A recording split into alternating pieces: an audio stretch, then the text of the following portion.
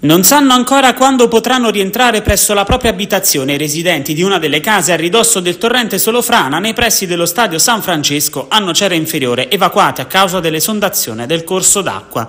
Temono che possa cedere anche un altro argine poco più avanti rispetto a quello devastato dalla violenza dell'acqua lunedì scorso. Le piogge annunciate nelle prossime ore creano allarme e preoccupazione. I cittadini chiedono che si intervenga subito e che si metta in sicurezza immediatamente la zona che costeggia il torrente Solofrana frane che ha provocato danni allagando abitazioni, cantine, garage, inondando completamente il campo di gioco dello stadio San Francesco.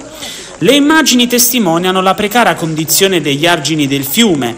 Si susseguono intanto le reazioni politiche come quella dei consiglieri comunali di Fratelli d'Italia Giuseppe Odoroso e Rosa Giordano.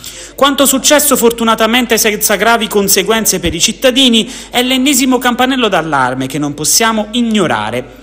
Stavolta il fatto che l'acqua del torrente dopo la rottura degli argini sia defluita all'interno dello stadio San Francesco ci ha aiutato a limitare i danni, ma non possiamo contare su altri colpi di fortuna.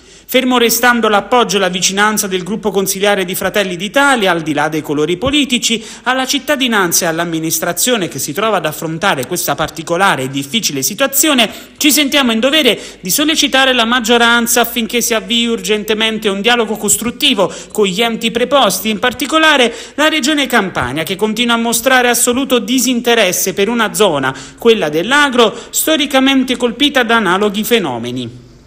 I consiglieri lanciano accuse al governo regionale affermando che in questi anni non è stato fatto assolutamente nulla, quasi come l'obiettivo fosse quello di colpire e depauperare l'area dell'agro e di Nocera Inferiore dai servizi principali presenti, rallentandone volontariamente lo sviluppo. Forse la politica, affermano i consiglieri Odoroso e Giordano, è quella di screditare l'agro e di non attuare seri progetti di rilancio a sostegno dell'intera area metropolitana.